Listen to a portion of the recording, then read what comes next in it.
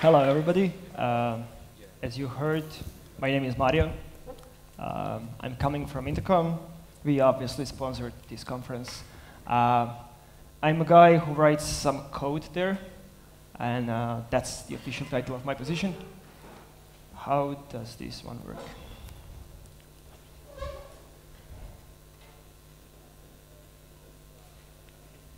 Cool.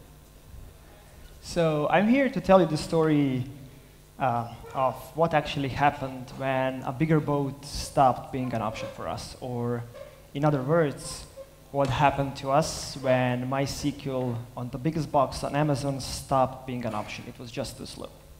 Actually, it happened twice. So just to set some context and to know like what we are working on, uh, what is Intercom? Intercom is a product company. That's something that defines the culture there very much.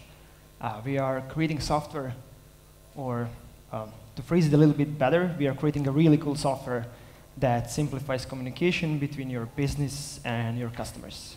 So we're making it like very personal, we are making it more fun, and generally, we have the best business messenger in the world. It's not a secret. RDS, uh, RDS is actually very unpersonal service. It's AWS service, relational database service that actually runs the database for you. Aurora, it's their newest product uh, in the line. It's fork of MySQL or something similar, I'm not completely sure, uh, which seems to be very promising. And who the hell I am, right? Um, so I'm not a DBA. This is a database talk, but I'm actually not good at databases. And we don't actually even have database administrators. So why? One of our core principles is to run less software. If we can get somebody who is world class to run our database, sure, we'll pay that guy. And the reason why, we actually truly believe that we can spend our time better than running databases. We don't want to handle all the shit that can happen there. So this is how a product actually works. It just like simplifies everything. But how it started. When Intercom was small, something really, really weird happened to us. It doesn't happen to many companies. People started using our product. And even a little bit more weird is they actually started giving us money for that. So as we wanted them to talk more and to give us more money, we developed different channels of communication. So now you actually have email communication, you can have a communication with your customers through your website, you can put the chat in your mobile app, uh, on your Facebook page, Twitter, wherever you want. Wherever you want. And here comes the nice part. We are not Snapchat. We have to store all these conversations, not for a short period of time. We have to store them forever. So if you started building your app the same time we did, you would probably have chosen the same set of technologies. Rails for backend, whatever JS for frontend, it changes all the time, right? And then for, back, for uh, database layer, it would probably be MySQL or, or Postgres, unless you really felt like hipster, or if you fell into that NoSQL trap. So everything was really, really sim simple at start. We had one Rails app, one database, no microservices. And then what happened, we got customers, our database was really, really slow. So what do you think, what we did? Did we do any microservices? No. We got a bigger box. We got a bigger database that was just faster, that's it. And we were really good. We actually got more customers, more customers that were actually paying us money, so our database was on fire again. And the solution is pretty obvious. We actually got the bigger database again. That's how it works. And then, at some point, after six months, database started being slow again. And you could ask yourself, where's the end of the story, right? So I'll tell you when. When all your customers leave your site, that's when you will start, when you will stop having scaling business and like scaling, scaling problems. So you probably don't want that to happen.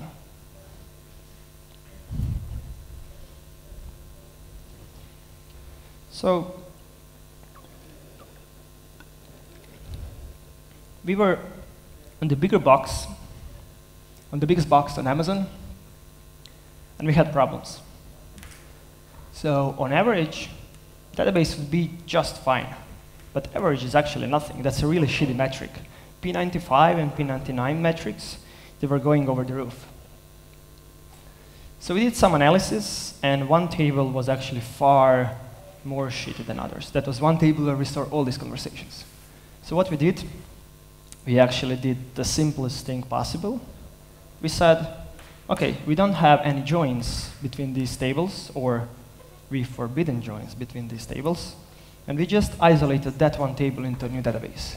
So at the end, we actually had one database for conversations and one database for the rest of the data. And the problem here is that all these boxes were actually the biggest boxes on Amazon. And you know what's the story here, right? Database is getting slower. We had just one table on the database, and we had no unindexed queries. And it started getting slow again. So we analyzed the table, and guess what? We ran this one query. It was actually quite fast. We got this number. So I'm not sure how many of you actually work with tables that have more than 2 billion rows. Is that less than 10? Yeah, I'd say this. So, okay, so you could say, like, what is the problem, right? As it grows, you're just going to get a little bit slower. But I'll tell you what's the problem. Your table actually can't fit in RAM. Because of that, eventually you have to read from disk, which means that like, disk is far slower than RAM. Your performance is going to be far less predictable, which means it's just shitty performance.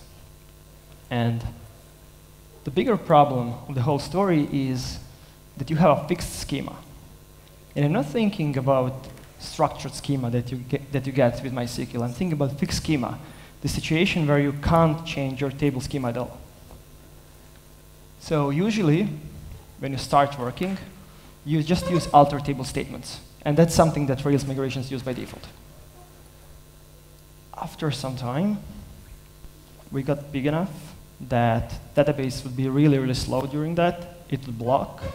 App would go down. That was fine with me. But customers would complain. Board wasn't happy with that. So that wasn't an option. We had to find something else. And usually, when people start handling the load of that size, they use Percona Toolkit, which is like trigger-based migrations, which is like really, really bad, or something similar. And that was working quite fine with us. But if you can understand actually the schema here, the problem is that during that migration, your database load doubles. And it was working for us quite fine for some time. Eventually, we just got out of capacity actually, and everything would be done. So that is actually the time when I joined Intercom. So all the stories I told you so far, that could be a lie. We wouldn't know that. Okay. So when you join Intercom, it's very usual to actually go on a tour. You go to different teams to figure out how different teams work and what team is good for you and what's not. My intermission was actually to try to move that massive database where we stored all the conversations to something better. So what options did we have? Our first option was DynamoDB. And since we would have to do like a massive overhaul of everything, we didn't even actually research that option. The second one was partition MySQL, which is doable, but if you remember one thing that we do not want to run a database, RDS was actually running a version that's not supporting partitioning. Also, partitioning doesn't co come without, without trade-offs, so we actually started looking into Aurora.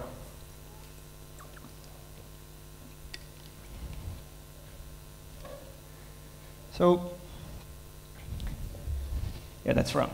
Uh, so the best property of Aurora for us was actually the fact that we don't have to run that.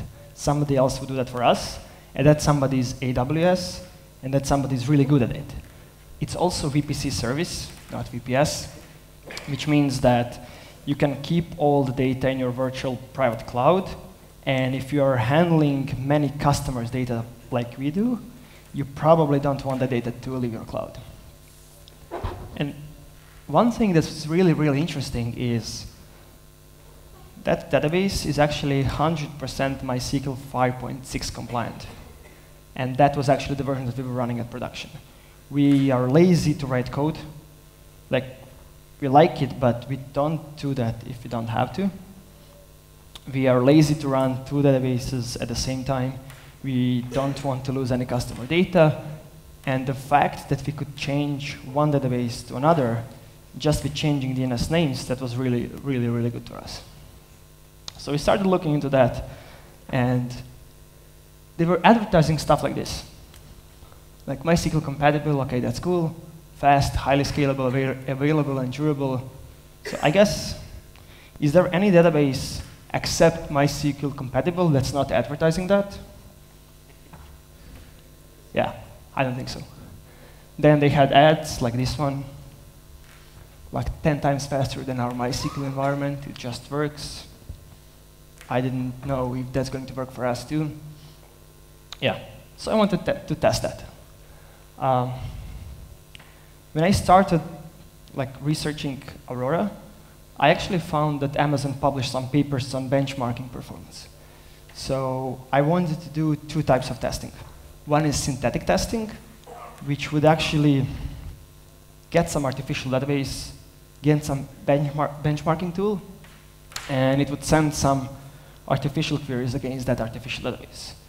And the reason why I wanted to do that is I actually wanted to verify that I can replicate the results they are advertising. If I can't do that, I don't know like if my tools are correct, if my processes are correct, nothing. So I needed some point of reference, actually.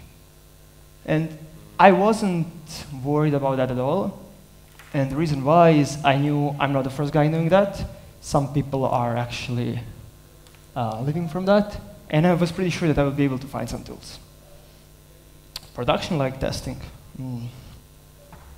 That one actually was a problem. Uh, it was a testing where ideally you would get the clone of your production database, and then uh, you would somehow record real queries and try to replay them, distributed, in correct order, and I was just struggling finding tools for that. So I thought maybe if I go just with synthetic testing, maybe I would get a, an answer to my question.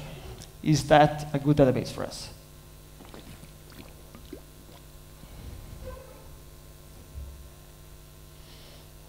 So I started. Uh, I read the papers. They used Sysbench. Uh, I was really proud of myself. Uh, later on, I figured out that's a quite a standard tool actually for testing databases. Uh, so how it works, uh, I got some boxes. I started shooting queries at that. And uh, actually, everything was fine. But I had to tweak some kernel limits to make sure that all CPU cores are processing network packets. And because of that, and some race conditions in Sysbench, it wouldn't stop. So the solution is you download the source code and fix that. But while I was doing that, I actually figured out that the real benchmarking is done in Lua scripts. So Sysbench is written in C, but all the queries that you are going to shoot at database are written in Lua. So in Intercom, we have a small tool that for each query that's ever run in production records how many times it's run and where from. So I actually, for top three queries of each type, I created like the ratios that what they represent the production load. And with that and playing with random, random number generators, I created an image of production load.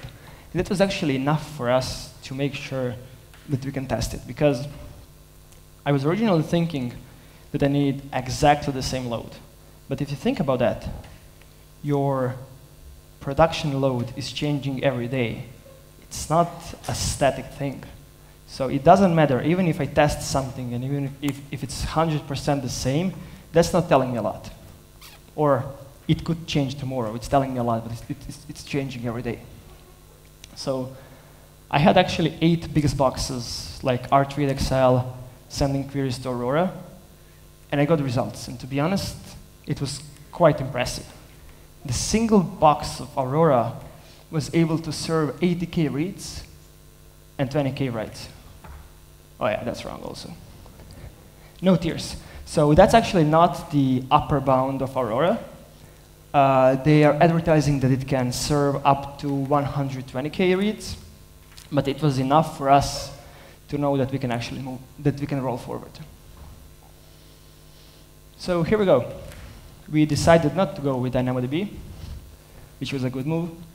Uh, we decided to actually move to something that's exactly, or like very, very similar with what we had before. So I created a plan like this. Uh, you have MySQL production, and this is the box you want to get rid of. You have Aurora, and you establish binary replication between two of them. And then, just to make sure that you can actually roll back on MySQL, you create the second MySQL box and establish replication bet between these two. This one is not working by default, so you have to not hack, but you have to play a little bit with security groups to make it to make sure that it works actually. This was our, this is the part of our, of our rollout plan. Uh, we had like, I think 72 steps of that. We did it twice, and it worked perfectly actually. So we migrated database within eight minutes of downtime, which was actually pretty good because we didn't even break SLAs that week. And when I'm trying to sell this story to anybody, I ask myself if we did something really cool here. And answer is no. We actually did the very boring stuff. And it's a classic thing, move one database to another. But then, if I ask myself, have we actually solved our problem? Have we increased availability? Can we help the business to grow? Hell yeah. So, sometimes, when your boat is too small, just buy a ship. It's completely fine. So where, where are we now?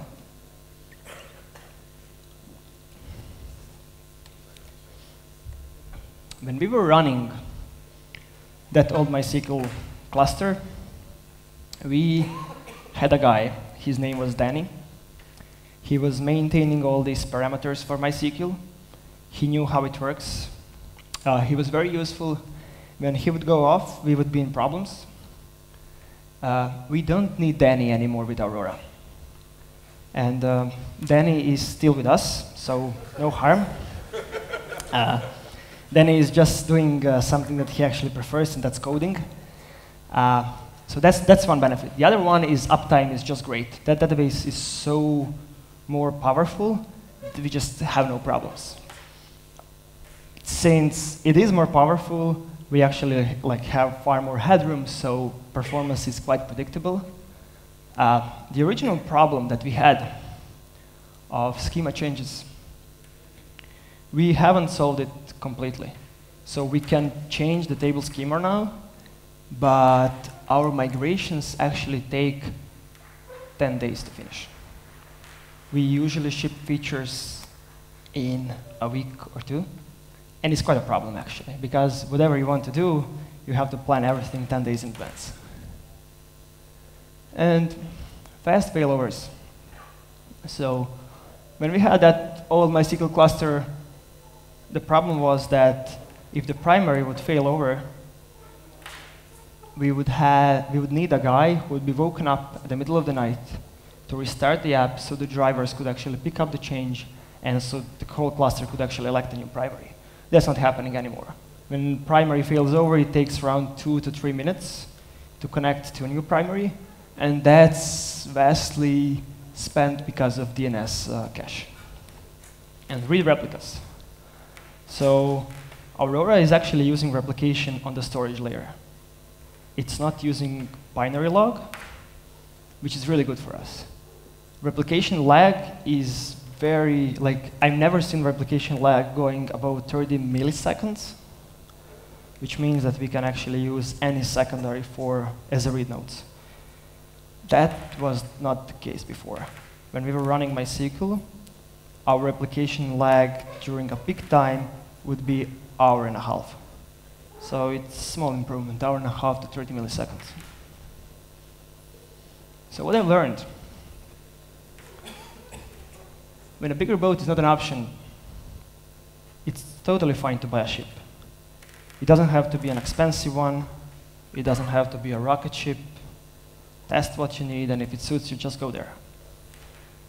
And the second thing is something that was very, very valuable for me as a young engineer. Boring technologies are usually proven. It's completely fine to not run Kafka. It's completely fine to not be on Docker. It's completely fine to not run in Cassandra or whatever it's called today. Like important business problems do not always have to be solved with complex solutions. Sometimes it's very simple. Sometimes it's okay to buy a better boat. That's all for me.